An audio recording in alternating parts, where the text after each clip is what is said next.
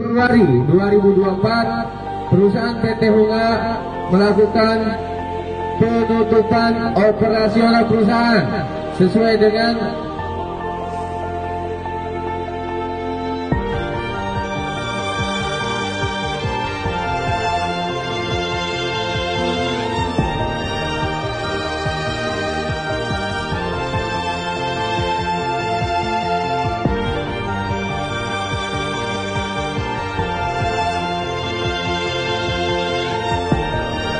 Februari 2024 perusahaan PT Hunga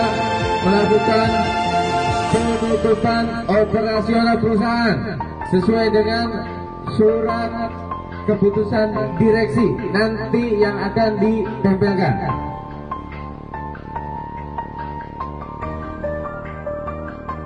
Yang namanya surat nanti setelah ditempel ya silahkan dibaca